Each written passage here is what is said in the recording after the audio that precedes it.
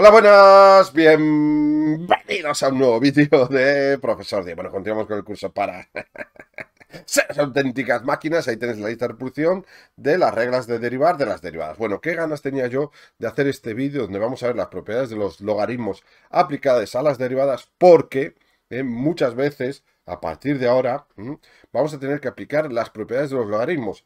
Y lo normal es que las tengamos olvidadas. Entonces, vamos a repasarlas o vamos a aprenderlas ¿eh? para que cuando las tengamos que aplicar no tengamos ningún problema. Y es muy importante porque si no, ¿eh? luego llegarán esos ejercicios donde tengamos que aplicar las propiedades y si no las dominamos nos vamos a perder. Pero no te preocupes porque eso a ti nunca, nunca, nunca, si sigues nuestros cursos, te va a pasar. Bueno, entonces vamos a por las cuatro que vamos a utilizar sobre todo a la hora de derivar, que es... Yo he puesto logaritmos neperianos en todo, porque es lo que más se suele utilizar en funciones, en derivadas, pero vale para todo tipo de logaritmos, vale para log, o logaritmo en base 3, etcétera, etcétera, etcétera. Entonces nosotros sabemos que el producto en un logaritmo es la suma en dos logaritmos. Eso es logaritmo neperiano de 3 más el logaritmo neperiano de x. Bien, si el producto es la suma, la división es la resta, ¿verdad? Muy bien, muy bien en casa. Pero fijaros que es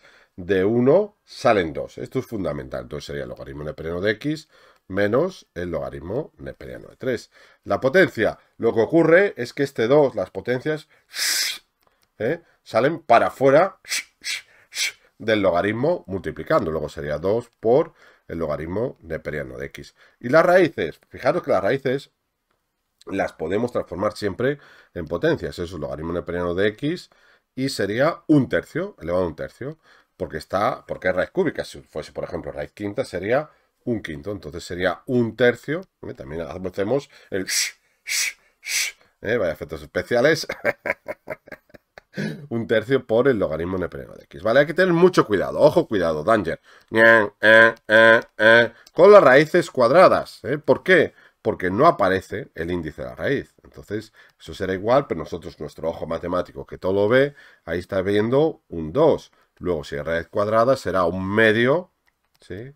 por el logaritmo neperiano de x. Venga, me voy a poner muy bien en estas cuatro propiedades que vamos a utilizar muchísimo a partir de ahora a la hora de derivar. Bueno, entonces vamos a hacer un par de ejemplos, luego como siempre un poco de trabajillo para vosotros, que no se diga, ¿no? Bueno, entonces tenemos aquí, entonces tenemos una división y sabemos que la división de un logaritmo es la resta de dos logaritmos, luego sería logaritmo neperiano de x más 1 menos logaritmo neperiano de x menos 3. Si os estáis preguntando para qué hacemos esto, ya lo veremos, ya veréis a posteriori y eso. Entonces aquí tenemos esta de aquí. Fijaros, tenemos en primer lugar las potencias. Este está elevado a 2 y es raíz cúbica. Esto es un 2 y esto es un tercio. Podemos poner 2 por un tercio, ¿sí? Por el logaritmo neperiano. Y como ya hemos aplicado la regla aquí y aquí, pues solo me queda la división x menos 2 partido x más 3. Y ahora volvemos, aplicamos la siguiente propiedad. 2 por un tercio son 2 tercios, se podría hacer en un paso, pero pasito a pasito se suele ver mejor. Y aquí tenemos una división, pues hacemos la resta. La división en un logaritmo es la resta de dos logaritmos, ¿vale? Sé que son un poco extrañas a veces las propiedades de los logaritmos, ¿eh? pero yo no me las he inventado. no me eches la culpa.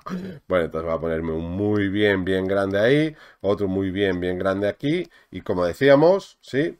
Vamos a hacer estos tres. Si os sentís preparados, hacer los tres. Pero si aún no os sentís lo suficientemente preparados, pues hacéis conmigo el C y el D y luego hacéis vosotros el E. Pues bueno, sin más dilación, ¡vamos a la siguiente pantalla!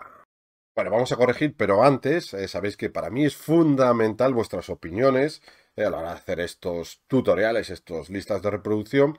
Entonces, quiero que me digáis qué opináis sobre lo de intercalar, como estamos haciendo ahora, pues ciertas cosas que no son explícitamente del tema, pero sí son cosas que tenemos eh, que dominar para poder seguir avanzando. Yo creo que vienen genial, pero bueno, eh, yo siempre me puedo estar equivocado, como siempre digo, entonces me gusta que me digáis en los comentarios para afianzar este método. Bueno, entonces Vamos a ello. Entonces decíamos que aplicábamos las propiedades. Aquí tenemos una potencia. Y cuando hay una potencia, tenemos que hacer... Saldrá la potencia, el exponente fuera multiplicando. Quedará seno de x por el logaritmo neperiano del coseno de x. Y pongo paréntesis ahí, ya lo tenemos y nos ponemos un muy bien. Venga, vamos a por el siguiente, que sin lugar a dudas yo creo el más difícil de los tres, pero primero hacemos lo mismo. ¿Mm? Sacamos el 3 fuera, ¿sí? Por el logaritmo neperiano de x más 1 partido de x menos 3, ¿vale? Y ahora aplicamos la siguiente propiedad. La división en un logaritmo es la resta de dos logaritmos. 3 por, abrimos paréntesis, logaritmo neperiano de x más 1 menos logaritmo neperiano de x menos 3. Para que os imagináis hacia dónde vamos, en el siguiente vídeo vamos a aplicar ya las propiedades de los logaritmos que van a ser fundamentales, obligatoriamente necesarias. Pero a veces, por ejemplo, imaginaos que yo tengo que derivar esto. Entonces puedo derivarlo a bruto, ¿eh? ya lo trabajaremos más adelante.